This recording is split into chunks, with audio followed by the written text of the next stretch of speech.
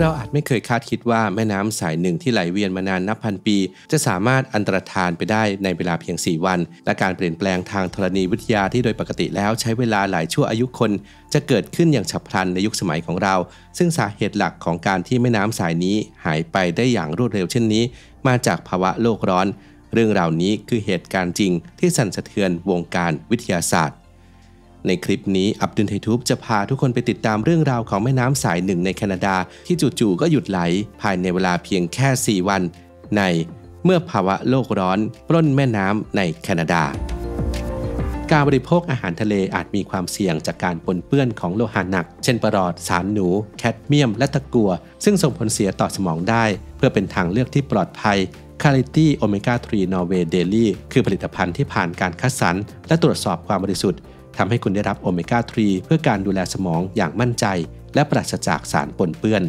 สนใจสั่งซื้อหรือดูข้อมูลเพิ่มเติมที่ quality.asia/abdul-mystery หรือคลิกลิงก์ใต้คลิปได้เลยครับ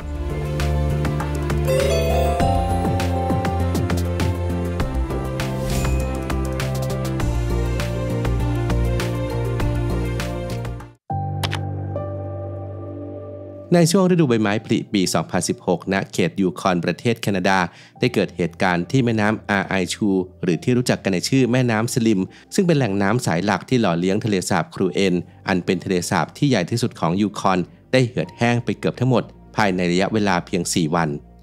ปรากฏการณ์นี้ถูกค้นพบโดยบังเอิญ เมื่อทีมวิจัยจากมหาวิทยาลัยวอชิงตัน ทาโคมานำโดยแดนชูกานักธรณีสันฐานวิทยาได้เดินทางมาเพื่อสำรวจพื้นที่สามเหลี่ยมปากแม่น้ำตามปกติ แต่สิ่งที่พวกเขาค้นพบทำให้ต้องระงับงานวิจัยเดิมทั้งหมด แล้วหันมาบันทึกเหตุการณ์ประวัติศาสตร์ที่เกิดขึ้นตรงหน้าแทน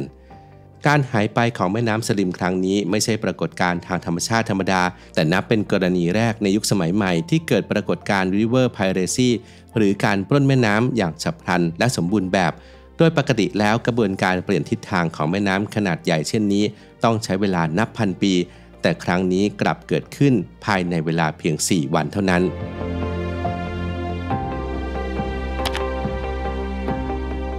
สาเหตุหลักของปรากฏการณ์ครั้งนี้คือการละลายและการถอยร่นอย่างรวดเร็วของทานน้ำแข็งคัสกาวูนหนึ่งในทานน้ำแข็งที่ใหญ่ที่สุดของแคนาดา ซึ่งตั้งอยู่ในเทือกเขาเซนต์อีไลอัสทานน้ำแข็งแห่งนี้เป็นต้นกำเนิดของแม่น้ำสองสาย คือแม่น้ำสลิมส์และแม่น้ำคัสกาวูน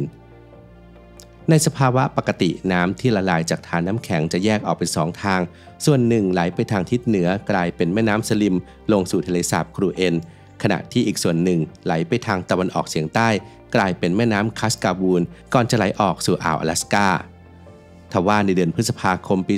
2016 ฤดูใบไม้ผลิที่ร้อนกว่าปกติ ได้เร่งให้ทานน้ำแข็งละลายอย่างรุนแรง จนเกิดเป็นช่องทางระบายน้ำสายใหม่ขึ้นมา และภายในเวลาไม่กี่วันช่องทางดังกล่าวได้กัดเซาะ จนกลายเป็นหุบเหวลึก ซึ่งเปลี่ยนทิศทางการไหลของน้ำทั้งหมดอย่างสิ้นเชิง ผลที่ตามมาคือมวลน้ำมหาศาลที่เคยหล่อเลี้ยงแม่น้ำสลิม ได้ถูกเปลี่ยนเส้นทางไปรวมกับแม่น้ำคัสกาวูนแทนทั้งหมด การเปลี่ยนแปลงที่เกิดขึ้นอย่างฉับพลันในทางธรณีวิทยานี้ ถือเป็นครั้งแรกในประวัติศาสตร์สมัยใหม่ที่มีสาเหตุมาจากการเปลี่ยนแปลงสภาพภูมิอากาศโดยฝีมือมนุษย์จากการคำนวณของนักวิทยาศาสตร์ พบว่ามีความเป็นไปได้เพียง 0.5%เท่านั้น ที่การถอยร่นของทานน้ำแข็งคัสกาวูในอัตรานี้จะเกิดขึ้นได้ ในสภาพภูมิอากาศที่คงที่ จึงอาจสรุปได้ว่าเหตุการณ์นี้เป็นผลพวงโดยตรงจากการเปลี่ยนแปลงสภาพภูมิอากาศนั่นเอง หลังจากการไหลของแม่น้ำสลิมหยุดลง ระดับน้ำในทะเลสาบครูเอน ซึ่งเป็นทะเลสาบที่ใหญ่ที่สุดของยูคอนก็ลดลงอย่างฮวบฮาบ ในฤดูร้อนปี 2016 เพียงปีเดียว ระดับน้ำลดลงถึง 1.7 เมตร และยังคงอยู่ในระดับต่ำนับตั้งแต่นั้นเป็นต้นมาสำหรับชุมชนท้องถิ่น โดยเฉพาะชนเผ่าครูเอน First Nation ในหมู่บ้านเบอร์วอชแลนดิ้งการลดลงของระดับน้ำได้สร้างปัญหาอย่างใหญ่หลวง ท่าเรือเก่าถูกทิ้งร้างอยู่บนพื้นโคลนที่ห่างไกลจากแนวชายฝั่ง การเข้าถึงพื้นที่ประมงดั้งเดิมกลายเป็นเรื่องยากลำบาก และแหล่งวางไข่ของปลาสำคัญ ได้โผล่พ้นน้ำจนแห้งขอดบ๊อบดิกสันหัวหน้าชนเผ่ากล่าวว่า สิ่งที่เกิดขึ้นนี้เปลี่ยนแปลงไม่ได้ จึงต้องเรียนรู้ที่จะอยู่กับทะเลสาบในรูปแบบใหม่ พื้นที่ล่าสัตว์ พื้นที่ตกปลาทุกอย่างเปลี่ยนไปหมด พวกเขาต้องเรียนรู้ทุกอย่างใหม่ทั้งหมดหนึ่งในผลกระทบที่ชัดเจนที่สุดคือการที่เกิดพายุฝุ่นรุนแรงในหุบเขาที่เคยเป็นแม่น้ำสลิม เมื่อไม่มีน้ำคอยยึดเหนี่ยว ตะกอนละเอียดจากก้นแม่น้ำก็ถูกกระแสลมพัดพาขึ้นไปในอากาศ กลายเป็นพายุฝุ่นขนาดมหึมา ทางหลวงอลาสกาซึ่งเป็นเส้นทางคมนาคมหลักที่ตัดผ่านหุบเขาแห่งนี้ มักต้องเผชิญกับพายุฝุ่นที่บดบังทัศนวิสัยทำให้ยานพาหนะต้องหยุดรอจนกว่าพายุจะสงบลง คุณภาพอากาศในพื้นที่จึงเปลี่ยนแปลงไปอย่างมาก ขณะที่การเปลี่ยนแปลงภูมิทัศน์อย่างรวดเร็วได้ส่งผลกระทบอย่างรุนแรงต่อสัตว์ป่าในพื้นที่แกะดาวจากอุทยานแห่งชาติครูเอ็น เริ่มอพยพลงมากินพืชพันธุ์ที่ขึ้นใหม่ในบริเวณก้นแม่น้ำเดิม แต่พื้นที่ดังกล่าวอยู่นอกเขตคุ้มครองทำให้พวกมันตกอยู่ในความเสี่ยงที่จะถูกล่าสำหรับระบบนิเวศในทะเลสาบการลดระดับของน้ำได้ทำลายแหล่งวางไข่ของปลา และหากระดับน้ำยังคงลดต่ำลงไปอีก ก็มีความเป็นไปได้ว่าปลาแซลมอนจะไม่สามารถเดินทางเข้าสู่ทะเลสาบครูเอนได้อีกต่อไป ทั้งที่ก่อนหน้านี้ พวกมันมีการอพยพวางไข่ในพื้นที่นี้ตลอดหลายศตวรรษ ในขณะที่แม่น้ำสลิมต้องเผชิญกับชะตากรรมที่เลวร้าย แม่น้ำอัลเซ็กซึ่งรองรับน้ำจากแม่น้ำคัสกาวูนที่กลับได้รับประโยชน์จากการมีปริมาณน้ำเพิ่มขึ้น เป็นแหล่งล่องแก่งยอดนิยม และเป็นมรดกโลกของยูเนสโก อย่างไรก็ตามมีการพัดพาตะกอนเคมีของน้ำและพฤติกรรมของสัตว์ป่าที่เปลี่ยนแปลงไปอย่างต่อเนื่อง ซึ่งทั้งหมดกำลังอยู่ในช่วงของการปรับตัวครั้งใหญ่ยิ่งไปกว่านั้นการเปลี่ยนแปลงของระบบแม่น้ำในอาร์กติก ไม่ได้ส่งผลกระทบเพียงแค่ในระดับท้องถิ่น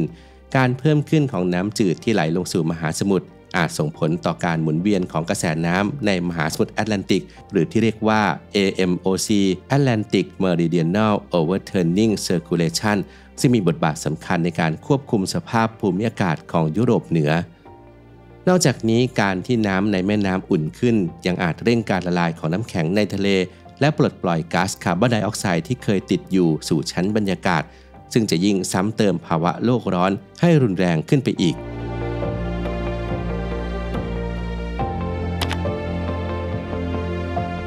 นักวิทยาศาสตร์ชี้ว่าปรากฏการณ์ปล้นแม่น้ำมีแนวโน้มที่จะเกิดขึ้นบ่อยครั้งในอนาคต โดยเฉพาะในพื้นที่แถบอาร์กติก ซึ่งธารน้ำแข็งกำลังละลายอย่างรวดเร็วหนึ่งในกรณีที่น่าจับตามองคือแม่น้ำอัลเซกในอลาสกาซึ่งมีความเสี่ยงที่จะถูกปล้นในอนาคตอันใกล้นี้เช่นกัน ธารน้ำแข็งแกรนด์แพลโตที่กั้นระหว่างทะเลสาบสองแห่งกำลังละลายอย่างรวดเร็วในอัตรากว่า 1 กิโลเมตรต่อปี การคาดการณ์ชี้ว่าปากแม่น้ำอัลเซกอาจเปลี่ยนตำแหน่งไปเกือบ 30 กิโลเมตร ภายในระยะเวลาเพียง 30 ปีข้างหน้า การศึกษาผลกระทบของการเปลี่ยนแปลงสภาพภูมิอากาศต่อแม่น้ำในเขตอาร์กติก บ่งชี้ว่าการละลายของชั้นดินเยือกแข็งคงตัว หรือ permafrost และพายุที่รุนแรงขึ้นจะเปลี่ยนแปลงรูปแบบการไหลของน้ำในภูมิภาคนี้อย่างมีนัยสำคัญ โดยคาดว่าปริมาณน้ำท่าผิวดิน หรือน้ำส่วนที่ไม่ได้ซึมลงไปใต้ดิน และไม่ได้ระเหยหายไปจะเพิ่มขึ้นถึง 25%และน้ำท่าใต้ผิวดินจะเพิ่มขึ้นถึง 30%ภายในสิ้นศตวรรษนี้